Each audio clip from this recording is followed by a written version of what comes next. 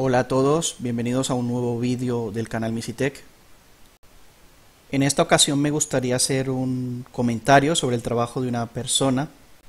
Voy a hablar de, de Cindy Crockett, ella es una canadiense, la cual lleva subiendo vídeos y material durante aproximadamente los últimos siete años. Y desde mi punto de vista, estas imágenes pueden corresponderse con el aspecto de algunos de nuestros visitantes actuales.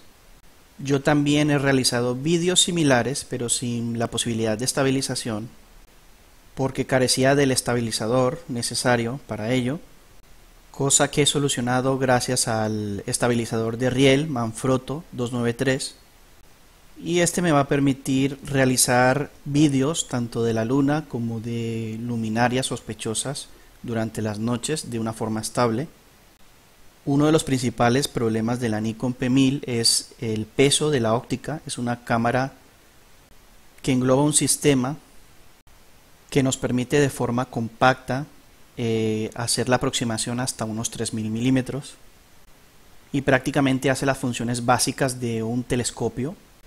Esta cuestión del peso eh, pues le otorga a la cámara un problema de estabilización, la cual se debe compensar por un sistema de riel este sistema compensa el peso de la óptica y elimina las vibraciones de una forma óptima.